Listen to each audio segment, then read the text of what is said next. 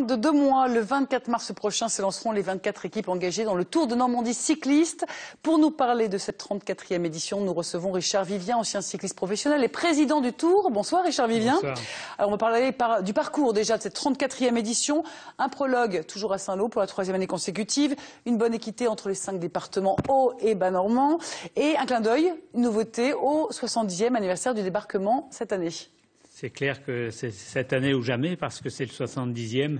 Et ben, on se devait aussi d'honorer euh, ce qu'ont pu faire les, les anciens. Et à travers ce parcours, on a réussi à, à pouvoir longer les plages du débarquement. Notamment la dernière étape. hein.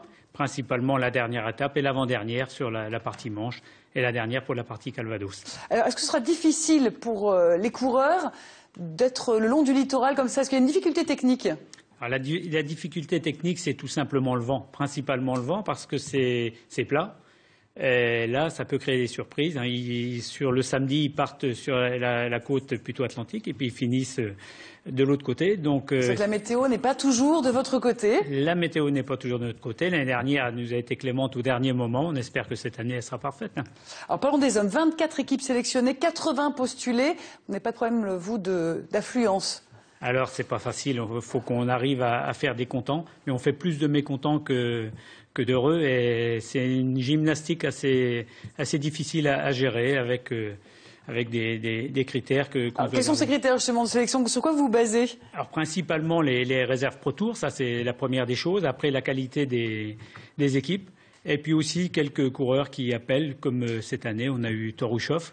Torushov qui a été champion du monde, vainqueur du. Tour de Normandie, qui nous a, qui nous a expliqué qu'il avait une équipe qui avait sûrement un Boissenhagen ou un Torushov dans, dans, dans, dans les rangs. Et à partir de là, ben, on fait confiance et on espère que ce coureur va, va aller bien et qu'on le verra sur la grande boucle euh, par la suite. Alors, Richard Vivien, vous êtes président depuis deux ans. Cette année, c'est un peu particulier. Le lendemain du départ, vous allez fêter vos 50 ans. C'est clair, ça c'est c'est un tournant aussi. Euh, ça a été pendant mes années sportives euh, le cas aussi. Hein. J'ai jamais gagné Notamment en tournant. 90. Hein. Vous Voilà. n'avez pas gagné, vous êtes arrivé troisième en Tout 90. à fait.